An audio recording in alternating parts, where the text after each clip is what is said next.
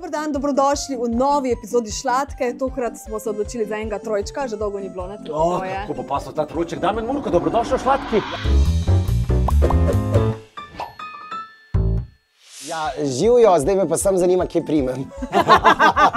Tu boš piščal. Tukaj noter boš ustavil svoje okončine. Okay, lahko roke?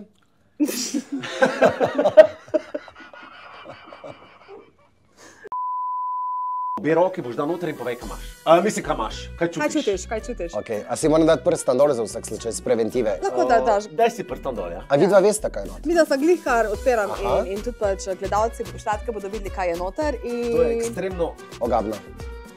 ne bom dala Jaz pridevnikov. ne vem točno, kaj je to. Uh, mislim, jaz vem, kaj je to. Ne bom rekla, da kot ženska, ker to bi bilo pač zelo narobe. Da se pa ti rečem. reče z besedo. Se lahko tudi opišeš, kaj je. Ok, izvoli, Damien. Roke not. Že, malo bolj previdno. To zgleda Kot kot en del uh, pencmantla. pincmantl. Kaj pa To je? je, uh, to mi vemo. To je, mantel že? A to je zimski Ne, plašč? to seveda vi ne morete vedeti, ker se stane 4000 evrov. Vam bom jaz povedal slovensko, kako se reče temu, ker moja žena jih nekaj ima. A to krzneni plašč? A ja. Ampak a ima tvoja žena pravo krznje? Ker tole je umetno, tole ni pravo. To, a čeprav, čeprav tole zdaj kot neka vata. A je to prah? Na nek način je verjetno tudi delčki prahu, so tukaj le, ampak tekstil. A je to slučajno iz sesalca, ona ka... Ne! Ja, jaz pa tako veselo. Čakaj, je sesalca iz pomivalnega se- stroja?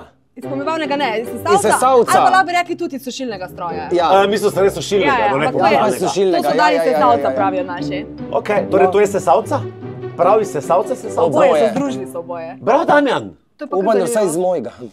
Nadaljujemo trojček z Damenom Urkom, naslednja šlata Anja Ramšak. Pa dajmo. Ok, bo sta videla odstranila, pogledala. bova najprej pogledala, kaj je not.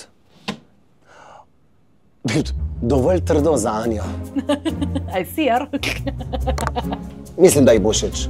Pa da je tudi mogoče že kdaj to imela v rokah. Hm, a je ona imela to že kdaj v rokah? Zdaj bom jaz probala. Lahko bi imela. Hm, više. Aha. Dosežem. Ja, tole, tole. Kaj pa je tole? Anči. Zagotovo poznaš. Ja, to je moj roškar. Omega, ti je roškar, ja? Ja, ampak jaz sem... Jaz sem Porno roškar. Porno roškar. Ja. Pa zakaj je tako hitro ugotovila? To zbodi zabavno.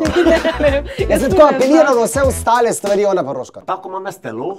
Ne, ne, nimaš, nimaš. Nimamo le ful mišiča. O, roškar. Torej, Damjan, jaz predlagam, da odpreva še tole, zdaj le bo šlato roši, roši, kar rad šlata. Večino časa, Šlatam. večino časa šlata sebe. Kar tudi ni tako slabo, se sebe najboljše pozna. Zdaj bom videla odprla tole. Ok, odprita. Okay, zakaj dajete zmeraj uporabljene stvari? Damjan, Zakaj pač ni en dal šape not. enostavno barve? kupljeno ja, v trgovini in to je to? Ah, Ampak zakaj to čak, da ne bo kaj v mene?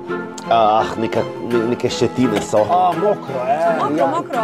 Sej pravi, lahko bi bilo vsaj iz trgovine. A si to veš, da se je uporabljala? bila? Viči šitka! Ja,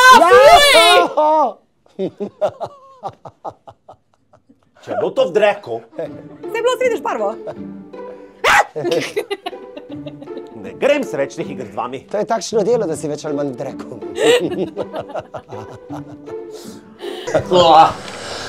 Hvala lepa, v naslednji šlatki bo z nama spet Damjan. Ne, spet, Ja, spet za isti honorar pridem. Pa kaj si ti nor?